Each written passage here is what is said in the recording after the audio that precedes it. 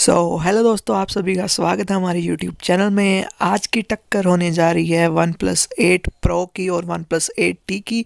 तो चलिए video start करते हैं। अगर आप हमारे चैनल पे नहीं हैं तो चैनल को कर लीजिए सब्सक्राइब